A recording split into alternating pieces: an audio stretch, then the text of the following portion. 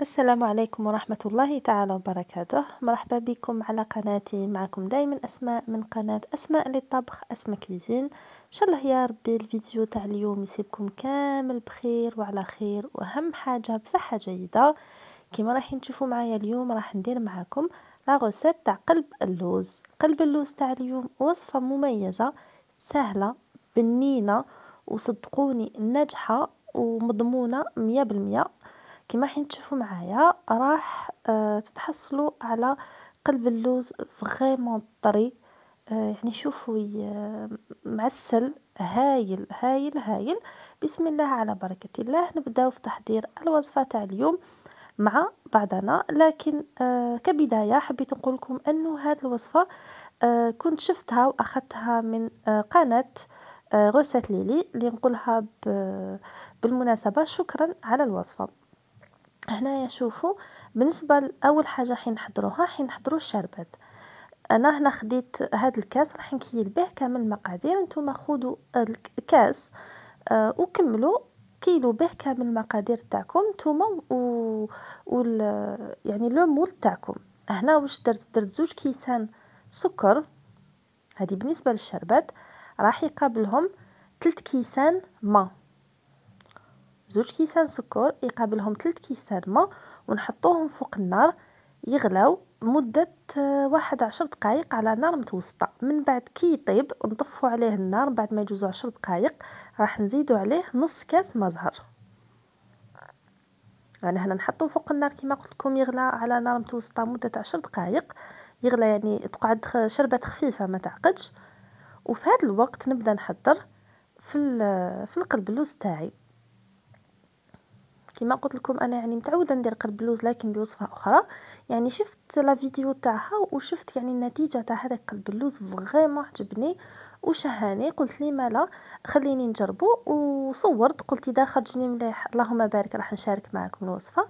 إذا ما خرجليش مليح ما راحش نشاركها. وصدقوني vraiment آه يعني هذه هي الوصفة المعتمدة اللي راح نعتمدها من اليوم. هنا نحضر في العجينة تاع القلب اللوز عاودنا درنا زوج كيسان سكر. دايما نفس الكاس زوج كيسان سكر زدت عليهم نص كاس حليب وراح نكملو بنص كاس ما زهر بالنسبة للعجينه زوج كيسان سكر نص كاس حليب نص كاس ما زهر نحطوه فوق السكر ونزيدو هنا خليط بين سمن ولا زبدة وزيت. أنا صراحة نحب ذوق السمن. نتوما ما تحبوش السمن ديروا الزبده ولا آه، ديروا كامل زيت لكن كي تخلطوا بين سمن وزيت ولا زبدة وزيت راح يعطيكم ذوق آه، بزاف بنين القربلوس تاعكم. كما شفتوا يعني كاس واحد آخر آه، ايدم هنايا كما هي ضافت في الوصفة ضافت عطر اللوز الحلو قلت أنا تاني نزيد نضيفو وعطالو ذوق رائع. من بعد راح نحكم لو بغا إلكتريك تاعنا. ونبدأ نضرب فيه حتى هذاك السكر يعني يذوب لي كامل ما يبقاش كامل سكر. وهذا هو سر نجاح هذه الوصفة. وكي يذوب هذاك السكر يعني يتعسل وهو اللي يخلي قلب اللوز تاعنا معسل من بعد. دوك واش نجي؟ ندي نضيف عليه الدقيق. ولا السميد؟ راح بنفس الكاس نديرو كاس واحد دقيق متوسط. حنا هذا موش دقيق خشين. راهو آه، المتوسط يعني اللي نديرو به الكسره ولا المطلوع كاس واحد من الدقيق ولا السميد المتوسط ونضيفو عليه 3 كيسان من الدقيق ولا السميد الخشين تاع قلب اللوز. كما شفتوا هنا مزيج بين الدقيق المتوسط والدقيق الخشين. هذاك الدقيق الرقيق هو اللي راح يعطينا آه هذيك الطراوة ويزيد vraiment يعسلنا قلب اللوز تاعنا. كما قلت لكم كاس دقيق متوسط مع 3 كيسان دقيق خشين تاع قلب اللوز هنا راح نخلط المقادير تاعي كامل مع بعضها حتى تدخل لي مليح. حتى يعني حين تشوفوا معايا آه، قوام العجينة يجي بزاف شباب. وتانيك تقدروا في هذه المرحلة تضيفوا نص كاس مكسرات يا إما كاوكاو محمص ملحي يا إما لوز محمص ملحي. نتوما واش عندكم؟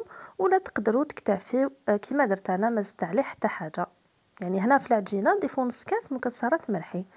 ولا ما ديروش؟ دوكا نحطو في لو بلا تاعي اللي كنت دهنته مليح بالسمن. حتى هذاك السمن يعني كي تدهنو يعاونكم قرب اللوز باش يتحمر. ونجو نبسطوه. أنا هنايا آه، بسطو كامل هكا بالملعقة وحطيته ريح لي مده 15 دقيقة الوقت اللي سخنت الفرن تاعي على 180 درجة مئوية. الفرن راهو يسخن مده 15 دقيقة وأنا قلب اللوز راهو يريح. هنا الشربات الوقت اللي كنت نحضر فيه القلب اللوز طابت. من بعد ما طابت لي وغلات لي 10 دقائق طفيت عليها النار وكما شفتوا نحيتها من النار ودوك نزيد عليها نص كاس تاع المزهر نخلطها ونخليها لازم الشربات تاعكم تكون باردة. تماما. يعني تبرد بدرجة حرارة الغرفة هي باردة والقلب اللوز سخون. دوك واش نجي ندير؟ نجي نقسم يعني هكا برك نطراسيو يعني راح يروح هاد لو تراساج برك باش نعرفو وين نديرو حبة تاع اللوز. نقسمو أنا هنا قسمته على أربعة من بعد على ثلاثة عطالي 12 morceaux وحطيت في كل آه قطعة هكذايا حبة تاع اللوز. ودوكا كيما قلت لكم حطيت الفرن تاعي يسخن على 180 درجة مدة 15 دقيقة. الوقت اللي القلب اللوز تاعي راهو يريح لي. دوكا نجو نحطوه يطيب في فرن مسخن من التحت كي تشوفوه طاب لكم وتشوفوا هذوك الحواشي يحمروا شعلوا من الفوق وخلوه يحمر لكم مليح. أنا هنا من بعد ما حمر نخرجوا من الفوق. ونشربوا بهذيك الشربات الباردة. هو راهو هدا وين خرج والشربات باردة.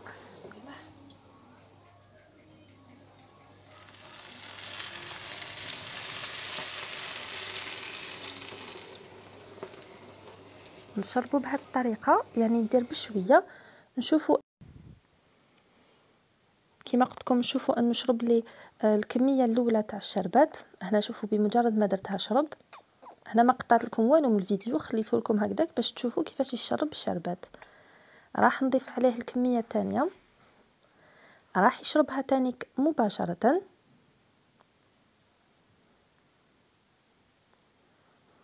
من بعد عليه نضيف عليه الكمية اللي قعدت. راح تشوفوا انه راح راح يولي يعوم في هذيك الشربات. الكميه الثالثه ما يتشربهاش. واش نديرو حنايا؟ نحطوه نعاودو نردوه لهداك ال four اللي نكونو طفيناه أكيد يعني غير في السخانة برك تاع ال four نردوه مدة 15 دقيقة يريح داخل ال four كي يجوز 15 دقيقة نحيوه. كما قلت لكم ال four طافي لكن مازالو فيه هذيك السخانة. أه، نحيوه وخلوه يبرد لكم مليح. يا إما من الصباح للعشيه يا إما يبات ليلة كاملة باش يشرب مليح ويتعسل. أنا صراحة درتو الصباح وكليناه العشيه في السهره كما قلت لكم النتيجة آه vraiment آه هبلتني. يعني ما كنتش نستنى إنه راح يخرج هكذا. سبق وشاركت معكم أنا آه يعني الوصفة تاع القلب اللوز وكما قلت لكم وصفة هايلة ما راحش نبدلها. لكن يعني صدقوني بعد ما جربت هذه الوصفة هذه هي الوصفة اللي راح نعتمد عليها ونتمنى كل واحد شاف هذا الفيديو يجربوا كما قلت لكم يجربوا على ضمانتي. أنا هنايا شوفوا ما شاء الله كيفاش يتقطع شحال يجي شباب يعني برك شوية حابط يعني لا بروشين فوا نكيل بكاس شوية كبير. كما قلت لكم أنا أول مرة نجرب هذه الوصفة.